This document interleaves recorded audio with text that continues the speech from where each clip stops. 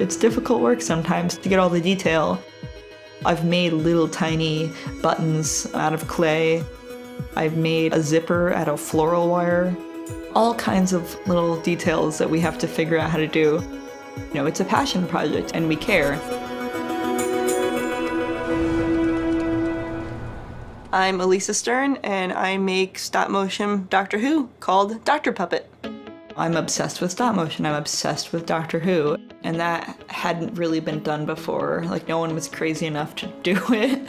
so I thought, gosh, maybe I'm the one to start it. You know, let's make it happen. I made one puppet, which was the Matt Smith puppet.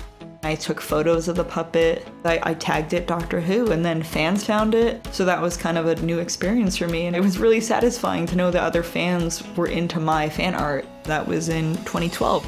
It was a few months before Christmas, and I said, you know, maybe I should make a stop motion animated Christmas special.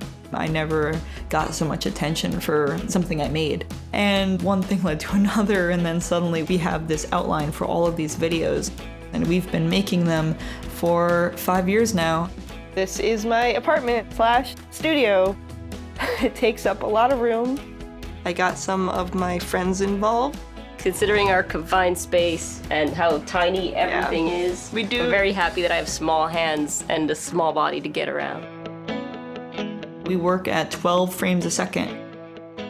So you can imagine how many frames it takes to make a, a, video that is three minutes long or five minutes, or the one we're making right now, which is going to be somewhere between eight and nine minutes long.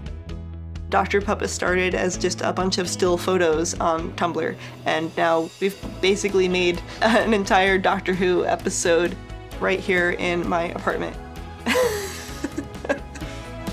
Doing Dr. Puppet has made me realize how special Doctor Who is, and it's just made me more and more of a fan with every passing year.